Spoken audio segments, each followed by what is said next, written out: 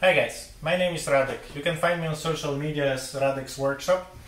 I'm a woodworker, I love to make furniture. When it comes to Bridge City Tool Works machines and tools, I have to warn you they're highly addictive, difficult to buy just one.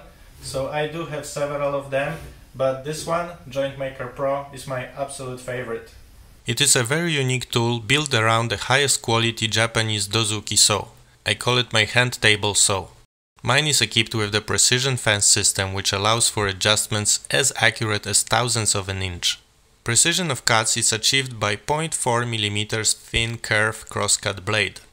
This kerf is so thin that you don't need to consider it while lying out and cutting your joinery.